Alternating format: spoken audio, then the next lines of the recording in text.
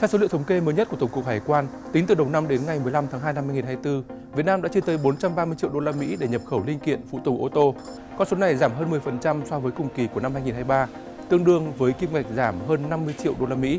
Trong 45 ngày đầu năm 2024, nước ta nhập khẩu mặt hàng này ở nhiều thị trường, nhưng tập trung tại các quốc gia như Trung Quốc, Thái Lan, Hàn Quốc. Đặc biệt, tính đến hết tháng 1 năm 2024, Việt Nam đã nhập khẩu linh kiện phụ tùng ô tô nhiều nhất từ thị trường Trung Quốc với kim ngạch đạt 92,1 triệu đô la Mỹ. Sau Trung Quốc, chỉ trong một tháng, nước ta chi 75 triệu đô la Mỹ để nhập khẩu mặt hàng này từ Hàn Quốc, Thái Lan với 55 triệu đô la Mỹ, Nhật Bản với số tiền là 43 triệu đô la Mỹ.